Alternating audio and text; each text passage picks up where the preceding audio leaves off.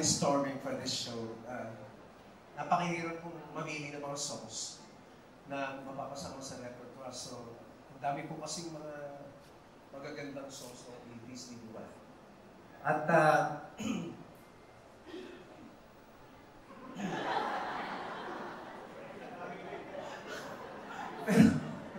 there's one artist na cannot be ignored because of his being a great composer and a good singer, Andre. Eh alam ko, he's already a legend. Alam ko, familiar na familiar din sa mga songs nito. At uh, he was, he became popular in, in the, in the mid-70s, pero tumawid po siya sa 80s. At um,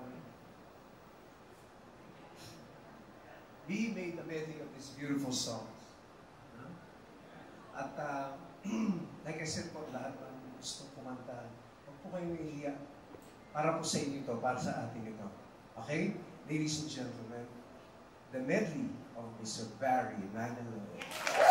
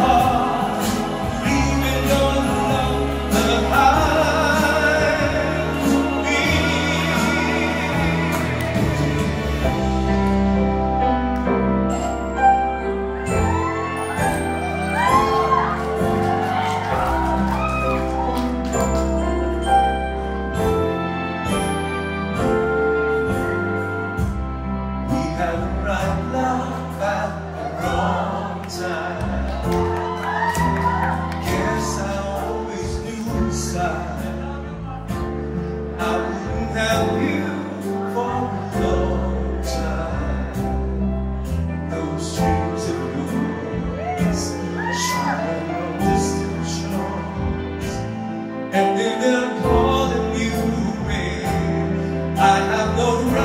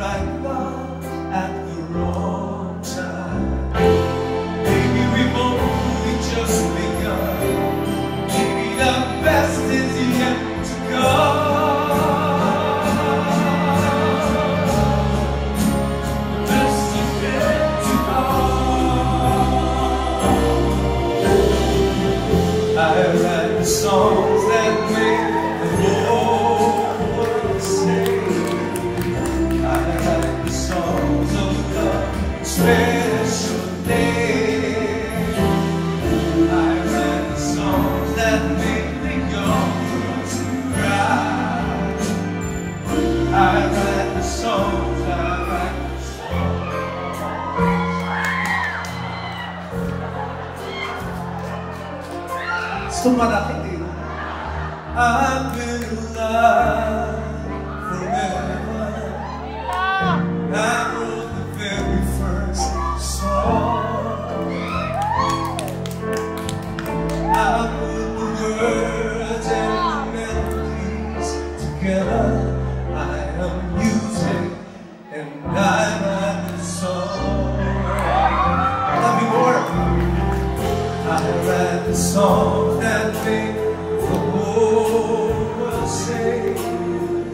I write the songs of love, special. I write the songs that make young girls cry. I write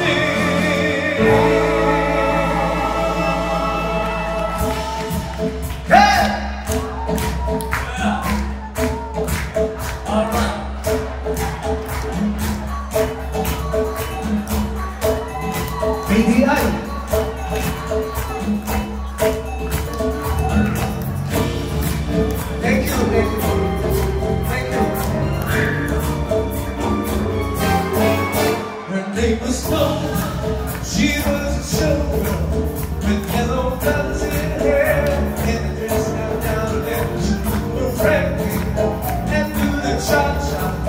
And while she tried to be a star, always said the was They were from eight till. They were and they had each other. Who could ask for